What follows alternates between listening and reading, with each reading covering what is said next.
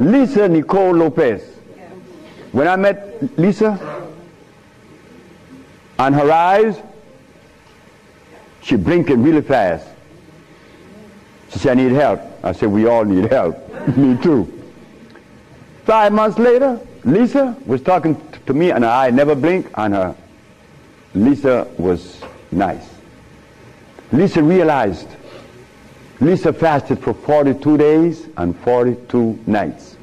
Lisa came to my hut. Two o'clock in the morning. She came with these two mugs of sea moss. Oh, I'm glad I'm talking about sea moss.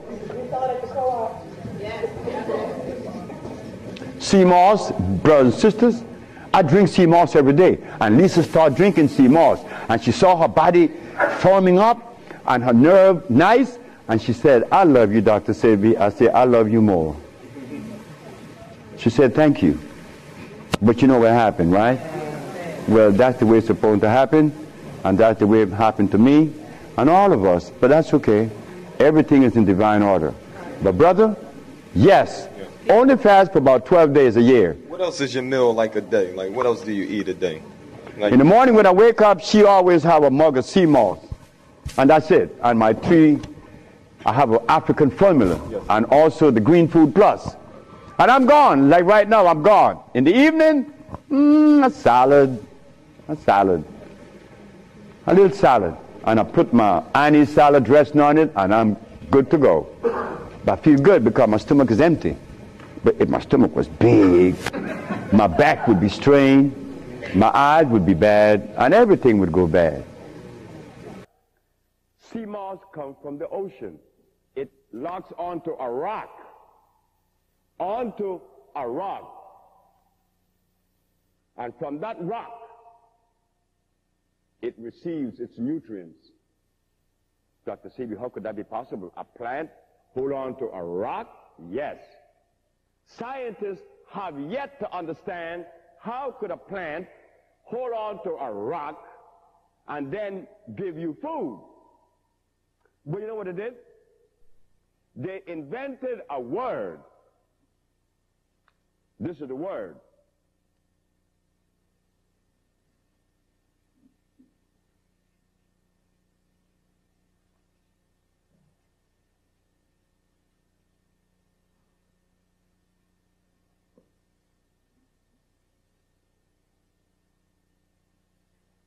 A 15 letter word.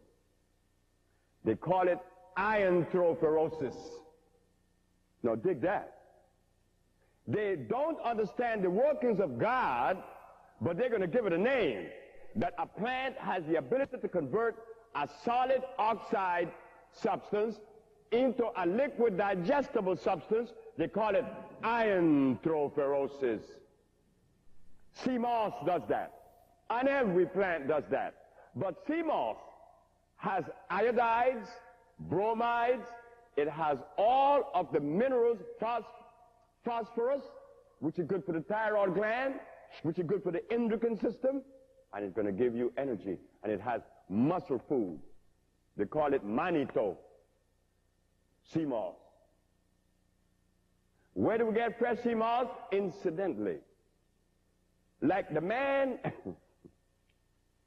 the man made pe- peppermint, and he made aloe vera.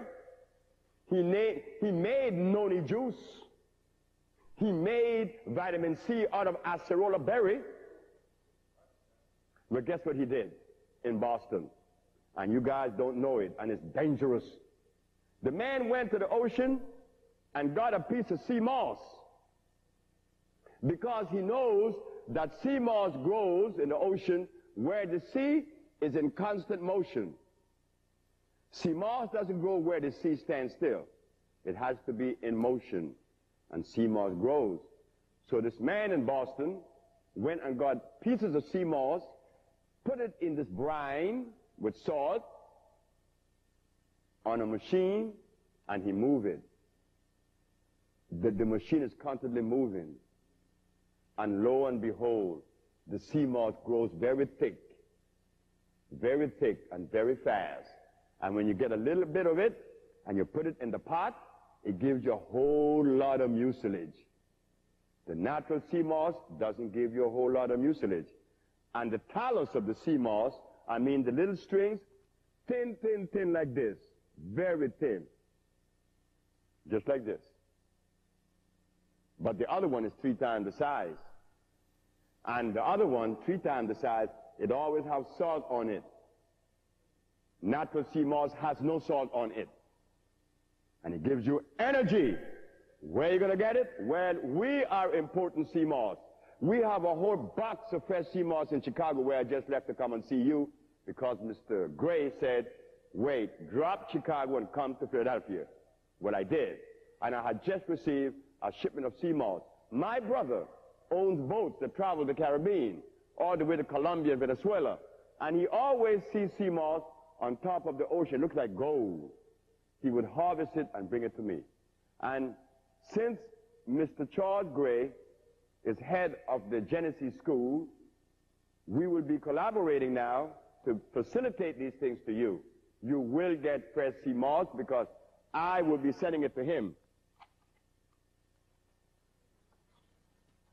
Thank you, sir. Thank you very much. And what the brother asked is a very good question. All of you males should drink a lot of sea moss.